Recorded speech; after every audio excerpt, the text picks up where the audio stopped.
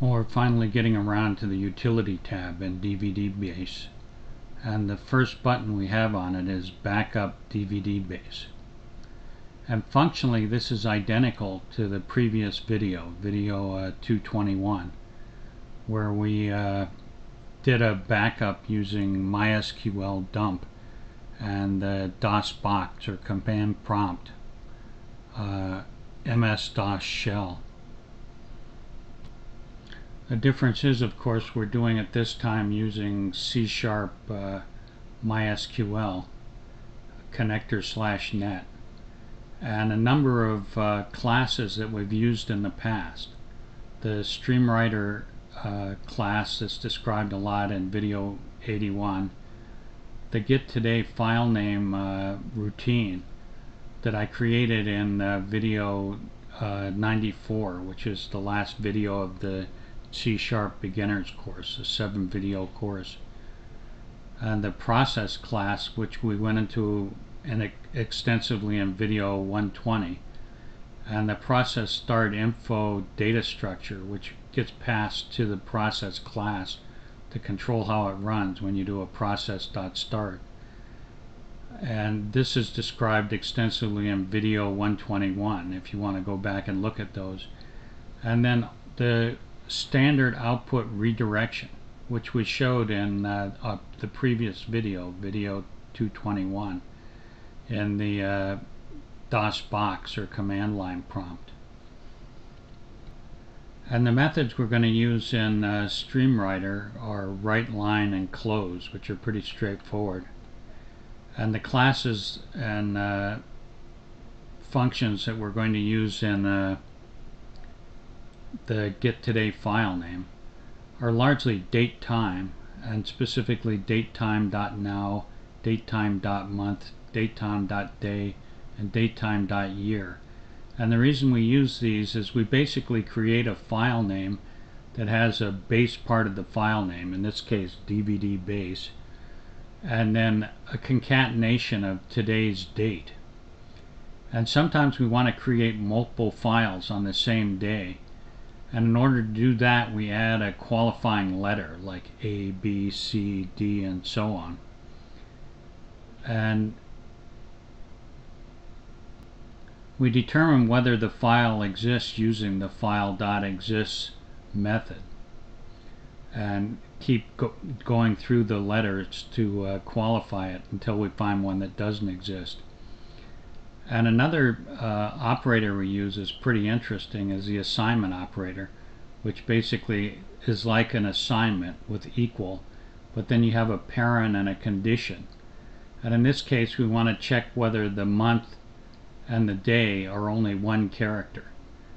And if they are only one character, we put a zero in front of them so that all the dates will come out nice and uh, and even length and even more so than even length sortable so that when you look at them in the directory they're in the correct order. You know 0 1 0 1 for January 1st the 1st of January will come before 10 10 and so on.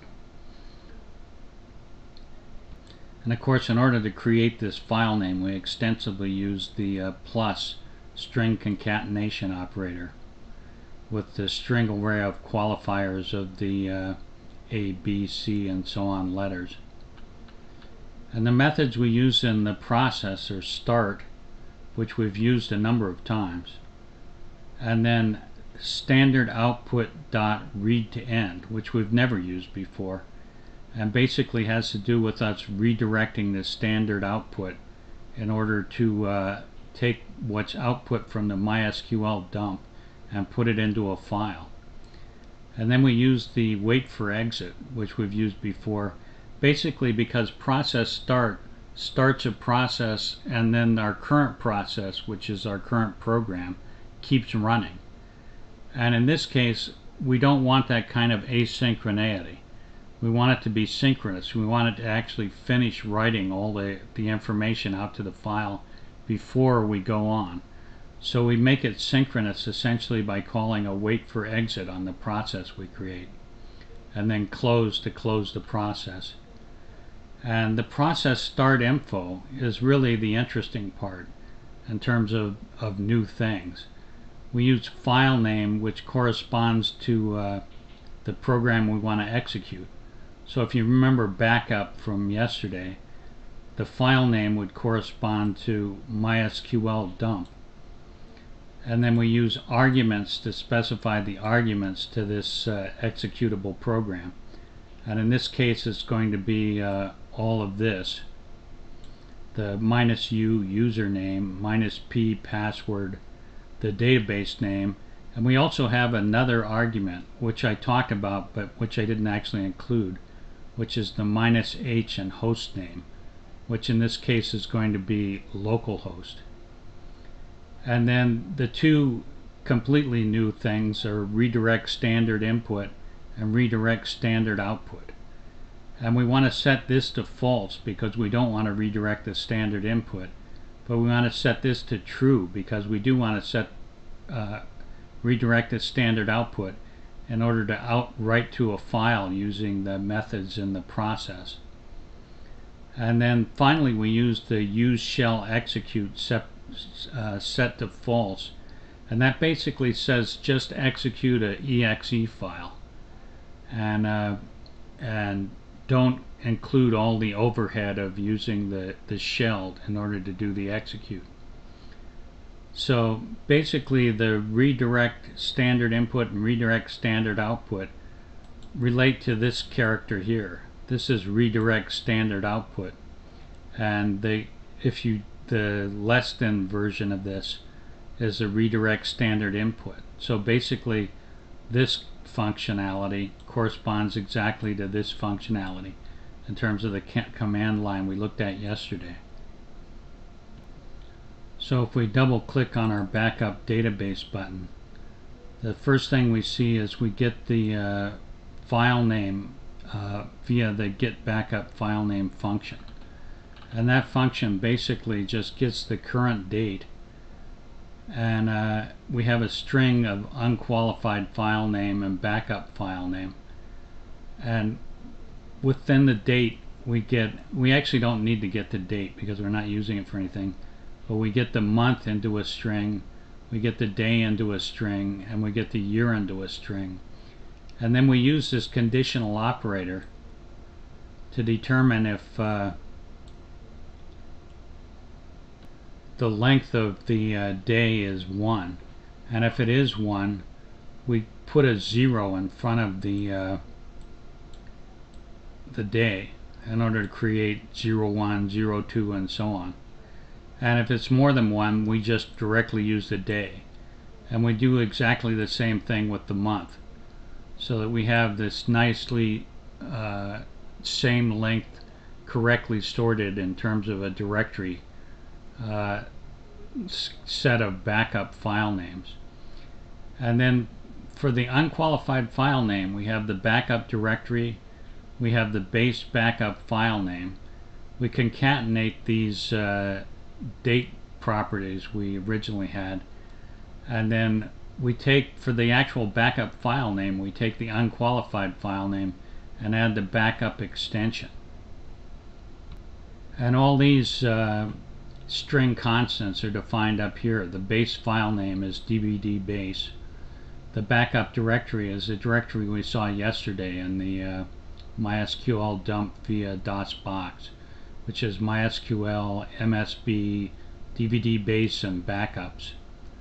And the extension is .sql because what we're really creating is an SQL script file or an SQL batch file and the username for the database is user which we created yesterday. It only has access to DVD base. It can't access any other databases within the system. And the password is password. And the server is localhost. And the database name of course is DVD base. Just a coincidence these are the same. Well not really a coincidence. I want to be clear when I'm backing up so the next thing we do is create or fill in the uh, process start info information we uh, instantiate a process start info data structure called psinfo. we set the file name equal to mysql dump, which is the executable we want to execute. We set the redirect standard input to false and the redirect standard output to true because we're basically going to take the standard output and write it to our .sql file. And then we create the arguments from these string constants, the database username, database password, the server name, localhost, and the backup database, which is DVD base. And these are all formatted in the correct way with the minus U, minus P, minus H, and just the database by itself as an argument. And then we set the uh, use shell execute to false because we just want to execute an exe, not an actual shell. And then we create a process called backup process via process.start, passing it the uh, process start info that we just created. And then I have a string called std out, which is actually the name of the standard output in Unix where this all started from. Uh, and I was a little worried this might be a, a, predefined name, but I guess it's okay. And I set the std out to the our backup process dot, dot standard output dot read to end. So this basically will take all the input that's sent to the standard output or all the output that's sent to the standard output and write it into this string. And then we take our backup file name, which we created in uh, get backup file name, and write that, write everything that was sent to the standard output to this file via write line. And then we have a backup process dot wait for exit which basically says don't go on until this all finishes, this process of writing the standard output to this file. Because we don't want to do anything else. We don't want this process running in parallel. We want to wait for it like it's a synchronous call, even though it's an asynchronous process creation. And then once all this is done, we close the uh, backup file and we close the process and I pop up a message box that says uh, the DVD base was backed up to file and the file name we created with get file. And all this is within a try catch block because if any of this fails we want to throw an exception and then print out that it failed and print out the uh, message that says why it failed with the ex.message where ex is the IO exception. So if we use uh, Explorer to Windows Explorer to go to the uh, backup uh, directory, we have MySQL, MSB, DVD based backups. And these are the two backups that we've done so far. This one we did yesterday with the uh, DOSBox uh, MySQL dump execution. And this is a previous test one that's actually in the format we're going to see so no, nothing for today, which is the 19th. This would be uh, 2013 07 19 for today. So nothing up our sleeves. We'll see if we create our backup file. Let's compile and run this program. Mm, yeah, the WAMP server is running. Go to the utility click on the backup database and you see almost immediately we get the message box. DVD base backed up to file and then the long file directory name. And DVD base 2013 0719 and I say OK and if I were to click this button again our get file name would then prepare, uh, append a uh, qualifier that says this file already exists so I'm going to create the next one with a qualifier. And I'd say OK and if I click it yet another time we get the next qualifier which is B and so on. Using the file dot exists and the uh, concatenation with the qualifier string concatenation And if we look at the backup directory, we now have these three files, and they're all the same length as the files we created previously because hopefully they're identical batch files. If I double click on this, you can see it's a batch file that basically drops the tables and then recreates the tables in the correct format with the correct constraints and everything, keys and constraints, and then does uh, insert into that re reproduces all the values that are currently in the database, which is something like 700 for the DVDs table. And if we go down to the other tables, it drops and creates the genre table and does an insert to recreate these genres, which I think there's, what, uh, 98 genres now.